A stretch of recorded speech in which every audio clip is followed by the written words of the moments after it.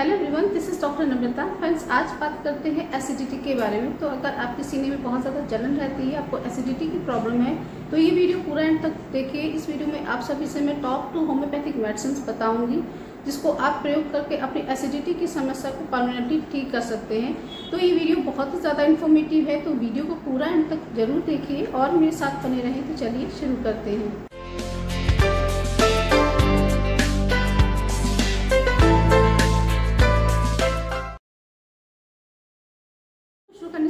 अगर आप आप, आप लोगों ने अभी तक मेरे चैनल को सब्सक्राइब नहीं किया तो चैनल को ज़रूर सब्सक्राइब कर लें साथ में बेल आइकन को भी प्रेस कर लें जिससे कि जब भी मैं ऐसी वीडियो अपलोड करूँ तो उसकी नोटिफिकेशन आपको मिल जाए। तो चलिए बात कर लेते हैं एसिडिटी को ठीक करने के लिए टॉप टू होम्योपैथिक मेडिसिन के बारे में। तो एसिडिटी क्या होता है इसके पीछे क्या क्या कारण होते हैं इसके लक्षणों के बारे में इसके प्रिवेंशन के बारे में मैंने ऑलरेडी वीडियो अपलोड किए हुए हैं तो आप उस वीडियो को एक बार ज़रूर चेक कर सकते हैं। इस वीडियो में आपसे मैं सिर्फ़ होम्योपैथी इस वीडियो में आपसे मैं एसिडिटी को ठीक करने के लिए होम्योपैथिक मेडिसिन के बारे में बात करूँगी, लेकिन थोड़ा सा हम शॉर्ट में एसिडिटी के बारे में समझ समझ लें कि एसिडिटी क्या होती है। तो एसिडिटी का मतलब होता है सीने में जलन होना।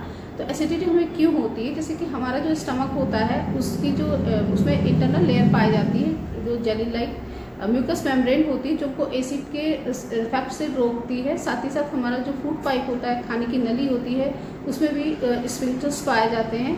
ये स्पिंक्टर्स होते हैं एसिड रिफ्लक्स को रोकते हैं, लेकिन कुछ ऐसी कंडीशंस होती हैं, जैसे कि आप अगर बहुत ज़्यादा एलोपैथिक मेडिसिन खाते हैं, खासतौर से anti non steroidal anti inflammatory drugs या एंटीबायोटिक्स या एंटीबायोटिक मेडिसिन का अगर बहुत ज़्यादा सेवन करते हैं, या फिर अगर आप बहुत ज़्यादा स्ट्रेस में रहते हैं, बहुत ज़्यादा स्पाइसी फ़ूड अगर आप खाते हैं तो उसकी वजह से हमारी इंटरनल लेयर जो होती है डैमेज होने लग जाती है, जिसकी वजह से एसिड रिफ्लक्स होता है और और हमको एसिडिटी कॉज होती है। तो नॉर्मली क्या होता है? नॉर्मली क्या होता है? हमारे फ़ूड के डाइजेशन के हाइड्रोक्लोरिक एसिड पर डे सिक्रेट होता है।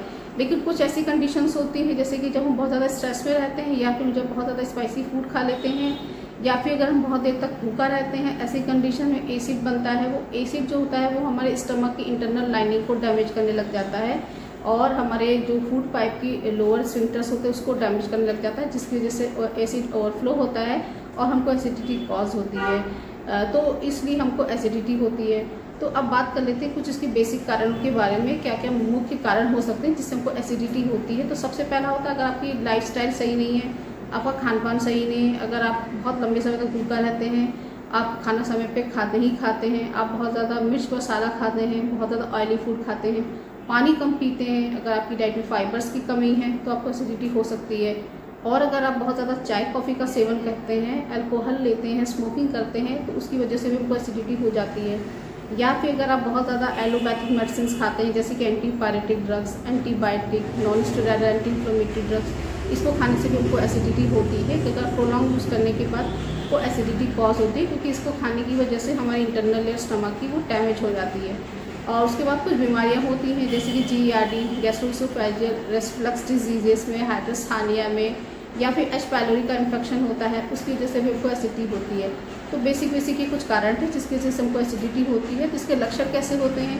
तो आपको खाली पेट भी एसिडिटी हो सकती है, या फिर खाना खाने के बाद आपको एसिडिटी हो सकती है।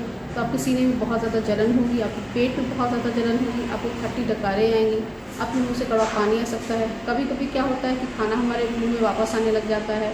कई बार ऐसा होता है कि एसिड बहुत ज़्यादा बनता है और वो बैकफ्लो मारता है, जिसकी वजह से हमारे फ़ूड पाइप की जो इंटरनल लेयर होती है, वो डैमेज होने लग जाती है। तो हमारे खाने की नली में छाले हो जाते हैं, उसमें सूजन हो जाती है, जिसकी वजह से खाना निगलने में आपको बहुत ज़्यादा दर्द हो सकता है। कभी कभी हमको वॉमिटिंग हो जाती है, मुँह से ब्लड भी आ सकता है। और हमको बहुत ज़्यादा नौजिया हो सकता है, पेट में बहुत ज़्यादा गैस बन सकती है। साथ ही साथ हमको हमारा डाइजेशन सही नहीं रहता है तो उसकी वजह से हमको कब्ज भी देखने को मिल सकता है। तो ये कुछ लक्षण थे जो हमको एसिडिटी में देखने को मिल सकते हैं। तो अब चलिए बात कर लेते हैं उन दो होम्योपैथिक मेडिसिन के बारे में, जिसको आप प्रयोग करके अपनी एसिडिटी की समस्या को परमानेंटली ठीक कर सकते हैं। तो इससे फ़र्स्ट मेडिसिन रहेगी रोबीनिया रोबीनिया का मदर टिंचर आपको प्रयोग करना है। रूबेनिया हाइपर एसिडिटी की one of the best medicine होती है और इसका इस्तेमाल करने से आपकी एसिडिटी की समस्या परमानेंटली ठीक हो जाती है। तो अगर आपको एसिडिटी रहती है, आप कुछ भी खा लेते हैं, आपको एसिडिटी हो जाती है या फिर आप खाली पेट रहते हैं, तब भी आपको एसिडिटी होती है तो उसके लिए आप रूबीनिया का प्रयोग कर सकते हैं। तो रूबीनिया मेडिसिन का प्रयोग करने से आपके सीने में होने वाली जलन को ये ठीक करती है। साथ ही साथ अगर आपके पेट में जलन होती है आपके पेट में दर्द होता है तो पेट में बहुत ज़्यादा अगर गैस बनती है तो आप रुबीने का सेवन करिए तो आपकी ये प्रॉब्लम पूरी तरीके से ठीक हो जाएगी। तो आपको सीने में बहुत ज़्यादा जलन होती है, सीने में आपको बहुत ज़्यादा दर्द होता है, खाना खाने के बाद आपको बहुत ज़्यादा एसिडिटी बनती है, खाना आपके मुँह में वापस आ जाता है, रिगरग्रेट करता है, साथ में आपको खट्टी डकारें आती हैं। और बहुत ज़्यादा आपके पेट में गैस बहुत ज़्यादा बनती है, इसके साथ ही साथ आपके पेट में भी बहुत ज़्यादा जलन होती है। पेट में दर्द अगर आपको होता है तो आप रुबीनिया का प्रयोग करिए तो आपको बहुत ही डेफिनेटली इसके अच्छे रिज़ल्ट मिलेंगे। तो बात कर लेते हैं इसको लेना कैसे। तो रुबेनिया आपको मदर टिंचर फॉर्म में लेना है। तो रुबेनिया मदर टिंचर की बीस बीस मतलब आपको दिन में तीन बार प्रयोग करनी चौथाई कप पानी में। आप इस मेडिसिन का सेवन, खाना खाने के आधे घंटे पहले कर सकते हैं। उसके बाद जो सेकंड मेडिसिन रहेगी, वो रहेगी स्वाबे ब्रांड की। अल्फ़ा एसिड हाइपरसिटी टैबलेट जो कि बहुत ही ज़्यादा इफ़ेक्टिव मेडिसिन होती है एक्सीलेंट मेडिसिन होती है, इस मेडिसिन के बहुत ही अच्छे रिज़ल्ट देखे गए हैं। तो इससे कंपोजिशन की अगर बात करें तो इसमें पाँच होम्योपैथिक मेडिसिन ऐड करी गई है, जो कि एसिडिटी के लिए इंडिकेटेड होती हैं। तो इसमें जैसे कि इसमें कैप्सिकम ऐड करी गई है, इसमें आयरिस ऐड करी गई है, इसमें आर्सनिक एल्बम ऐड करी गई है, इसमें आयरिस ऐड करी गई है, साथ ही साथ इसमें रुबीनिया ऐड करी गई। तो ये पाँच होम्योपैथिक मेडिसिन का कॉम्बिनेशन इसको बनाया गया खासतौर से ये एसिडिटी के लिए रामबाड़ मेडिसिन होती है तो आप इस मेडिसिन का भी प्रयोग आप कर सकते हैं। तो आप बात कर लेना कैसे है? तो आपको अल्फ़ा एसिड की दो दो टैबलेट दिन में तीन बार आपको प्रयोग करनी है। इस मेडिसिन का सेवन आप थोड़ा लंबे समय तक करिए।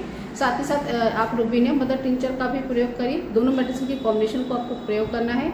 इसके साथ ही साथ आपको अपनी डाइट हैबिट्स को भी सुधारना है। जैसे कि आप आप अपनी डाइट में फाइबर्स को इंक्लूड करें, पानी ज़्यादा से ज़्यादा पिए, लंबे समय तक भूखा ना रहें।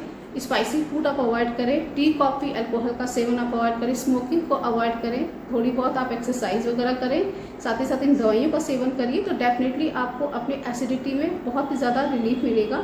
सो फ्रेंड्स आज के वीडियो में बस इतना ही। आई होप ये वीडियो सभी को पसंद आया होगा। फ्रेंड्स वीडियो पसंद आया तो वीडियो को लाइक ज़रूर करें फ्रेंड्स एंड फैमिली में शेयर करें। और अगर आपने मेरे चैनल को तो सब्सक्राइब नहीं किया तो चैनल को ज़रूर सब्सक्राइब कर लें, साथ में बेल आइकन को भी प्रेस कर लें। जिससे कि आने वाली वीडियो की नोटिफिकेशन आपको मिल जाए। So friends thanks for watching wishing all very good health